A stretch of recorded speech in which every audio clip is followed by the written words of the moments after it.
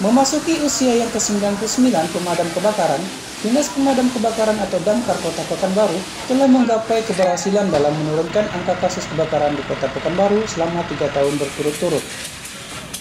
Kepala Dinas Pemadam Kebakaran Damkar Kota Pekanbaru, Provinsi Riau, Burhan Guning menjelaskan bahwa pada tahun 2015 pihaknya telah memadamkan 383 kasus kebakaran, 2016 sebanyak 241 kasus, dan 2017 sebanyak 197 kasus kebakaran dan awal tahun 2018 ini 45 kasus. Dari jumlah tersebut, Burhan Kuning bertekad untuk terus dapat menekan jumlah kasus kebakaran. Nah, untuk sampai bulan ini, sampai ini, semalam saya data itu sekitar 45 kejadian, itu sudah termasuk kebakaran lahan. Nah, di situ. Jadi, kalau kita buat katakanlah ya rata-ratanya bisa 10 setiap bulan itu kan itu yang mau kita kejar. Bagaimana kita bisa menekan angka 10 setiap bulan itu. Untuk kasus kebakaran bangunan, faktor utamanya ialah sambungan arus pendek ataupun korsleting listrik.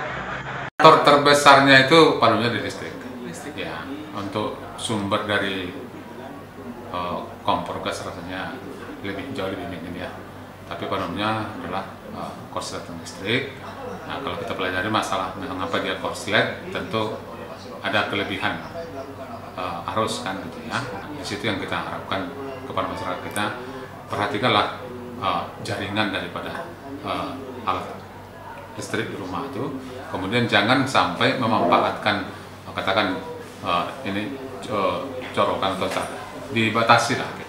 Jangan satu titik itu menumpuk sampai empat gitu kan Terkait dengan hal tersebut, pihak Damkar Kota Pekanbaru terus menyosialisasikan pengetahuan dasar pencegahan serta pemadaman kepada masyarakat. Hal ini dirasakan penting. Dengan adanya antisipasi awal dari masyarakat dapat mencegah bencana kebakaran meluas. Dan mengingat keterbatasan yang dimiliki pihak Damkar Kota Pekanbaru, baik dari segi armada serta sumber daya manusia. Saat ini Damkar Kota Pekanbaru baru memiliki 160 personel dan 17 armada. Dengan jumlah tersebut dinilai belumlah memadai untuk penanggulangan bencana kebakaran. Oleh karena itu, Burhan menilai sudah perlu adanya penambahan.